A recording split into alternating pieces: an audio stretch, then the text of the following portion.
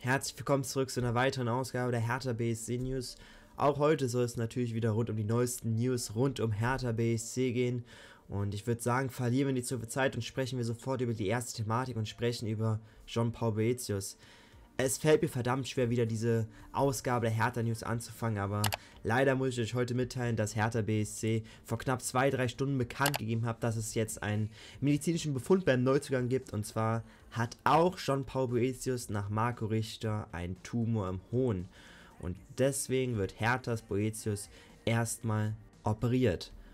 Und es ist eine verdammt bittere Nachricht. Boetius war erst knapp am Ende dieses Transferfensters zu uns gewechselt, kam ja, vom ablösefrei vom ersten FSV Mainz 05. Ich glaube, unleugbar können wir festhalten, dass Boetius unserem Spiel sehr viel Positives beigef beigefügt hat. Er hat bereits sechs Bundesligaspiele für Hertha absolviert und ich glaube, man hat gesehen, dass er ein sehr, sehr wichtiges Puzzleteil sein kann. Er ist eigentlich der Spieler, der zwischen der 8er und 10er Position unserem Spiel Spielwitz, Kreativität und vor allem Stabilität verleiht. Das hat er vor allem gegen Augsburg und gegen Mainz phasenweise richtig, richtig gut gemacht. Und ich glaube, für die kommenden Spiele wäre Boetius ein sehr, sehr wichtiger wichtiger Faktor geworden. Leider mit diesem Befund muss er sich erstmal zurückziehen und muss natürlich erstmal sich vom Krebs befreien. Am Mittwoch wurde dem offensiven Mittelfeldspieler, der 28 Jahre alt ist, bei einer urologischen Untersuchung ein Tumor im Hohn diagnostiziert, der direkt morgen dann operativ entfernt werden muss. Es ist jetzt der zweite Spieler von Hertha BSC, dem ein Tumor diagnostiziert worden war und es ist auffällig, wie wenn wir mal in der Saison keine Probleme mit Muskelverletzungen oder sonstigen Verletzungen haben, dass unsere Spieler einen Tumor bekommen. Das ist verdammt bitter. Und es ist schon auffällig, wie oft es sich jetzt in den letzten Wochen und Monaten häuft. Vor allem nicht nur bei uns, sondern ja auch bei anderen Bundesligisten. Wenn ich da zum Beispiel an Timo Baumgarte von unseren Stadtnachbarn aus Union denke oder an Sebastian Aller, der jetzt tatsächlich auch noch wegen seinem Tumor in die Chemotherapie muss ist es schon verdammt bitter. Freddy Bobic hat sich dazu auch geäußert und hat gesagt, so bitter diese Nachricht im ersten Moment auch ist, wir sind voller Hoffnung und Zuversicht, dass John Paul wieder gesund und schnellstmöglich in unseren Kreis zurückkehrt. Bis zu seiner Rückkehr bekommt er von uns jede erdenkliche Unterstützung. Wir werden als Hertha-Familie eng zusammenstehen und wünschen ihm nur das Beste. Und ich hoffe auch, erstmal natürlich gute Besserung an John Paul Boetius.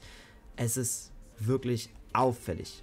Aber ich glaube auch, so früh wie der Tumor jetzt hier festgestellt worden ist, dass man hier wieder auch nach einer OP nicht in die Chemotherapie muss. Das hoffe ich zumindest und ich hoffe auf einen ähnlichen Verlauf wie bei Marco Richter, sodass er nach mehreren Wochen, ich glaube das waren bei Marco drei oder vier Wochen, wieder in das Teamtraining zurückkehren kann. Der Hohenkrebs bzw. ein Tumor am Hohn ist natürlich die, vor allem bei jungen Männern in dem Alter, wo Jean-Paul Boetius jetzt ist, die häufigste Krebsart. Und in Deutschland sterben Gott sei Dank nur relativ wenige an dieser Krebsart, denn er lässt sich vergleichsweise relativ leicht behandeln. Aber das zeigt trotzdem, wie schnell man auch als junger, gesunder Mann an so einer Krebserkrankung erkranken kann. Es ist ja nun mal eben wie folgt, bei Marco Richter und Timo Baumgartel ist es bei einer Vorsorgeuntersuchung aufgefallen und jetzt im Zuge, dass dort natürlich ein Befund festgestellt worden war, lassen sich viele andere Spieler Gott sei Dank jetzt auch natürlich testen. Und bei Jean-Paul Boetius könnte es eben auch noch sein, dass im Zuge des Medizinchecks dort auch eine Untersuchung angesetzt worden aber tatsächlich muss man auch festhalten, dass die Häufung mit vier Bundesligaspielern innerhalb eines knappen Jahres, ich würde sogar schon fast sagen innerhalb eines Sommers, ist sehr, sehr auffällig. Es gibt, wenn ich jetzt hier auf die eine oder andere Statistik schaue, so unterschiedliche Zahlen, die behaupten, dass etwa 0,1 bis 0,3% der jungen Männer an Hodenkrebs erkranken und jetzt natürlich vier Bundesligaspieler erkrankt sind und es gab 600 verschiedene Bundesligaspieler im vergangenen Zeitraum, dann sind es sind vier Erkrankungen 0,6% Es ist sehr, sehr gehäuft, aber ich würde jetzt einfach mal davon ausgehen, dass es eine Zufallshäufung ist. Ich denke mal, viele Bundesligaspieler haben sich testen lassen, jetzt ob sie dementsprechend solch einen Tumor haben. Die Fälle Baumgarte, Richter, Haller haben mir Eindruck vermittelt und zeigen auch direkt, dass man jetzt dieses Thema aktiver, offener kommunizieren möchte und dass man auch dementsprechend keine Scheu davor haben sollte, als Fußballspieler oder eben auch als normaler ähm, Nicht-Fußballspieler eine Vorsorgeuntersuchung anzugehen.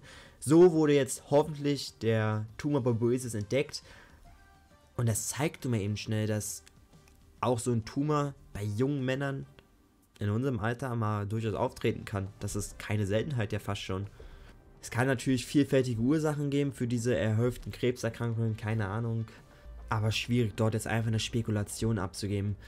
Denn ich habe ja für nichts mögliche Belege, die belegen können, was die Ursachen dafür sind. Fakt ist, es tritt relativ häufig auf bei jungen Männern. Und jetzt viermal in der Bundesliga im kurzen Zeitraum. Davon natürlich ausgerechnet zweimal bei Hertha BSC. Wir haben ja das Glück. Und es ist verdammt bitter. Also ich hoffe, Boetius wird schnell wieder gesund, kann schnell wieder in den Kader zurückkehren. Ich wünsche ihm alles, alles Gute, gute Besserung. Und ich hoffe auf einen sehr, sehr milden Verlauf, dass man nach der OP auch natürlich sofort wieder krebsfrei ist, dass man auf eine Chemotherapie verzichten muss. Aber ich hoffe, dass es früh genug erkannt worden ist und dann gibt es eigentlich nahezu keine Gefahr, was das Ursachen, wie gesagt, wenn man sich allgemein im Sport umschaut, dann gibt es dort verschiedene Ursachen, Doping, Strahlenbelastung, irgendeinen anderen Mist, da kann man kein Urteil draus ziehen. Vielleicht wird, sollte das mal untersucht werden, aber solange es keine Belege oder sonst was gibt, ja, kann man schwierig ein Fazit aus der Häufung der Krebserkrankungen ziehen, denn viermal 0,6% der Bundesligaspieler könnte auch einfach nur eine Zufallshäufung sein. Aber vielleicht wird sich vielleicht noch ein Mediziner oder so dazu äußern in den kommenden Tagen oder Wochen oder Monaten und dann können wir mal schauen, was diese zu sagen haben. So viel aber dazu. Wie gesagt, Poetius, nicht nur Poetius, auch Timo Baumgarte, Sebastian Lehr.